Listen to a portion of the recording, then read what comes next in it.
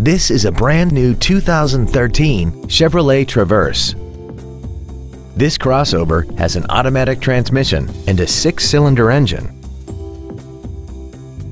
Its top features include a rear-view camera, traction control and stability control systems, commercial-free satellite radio, roof rails, and a tire pressure monitoring system.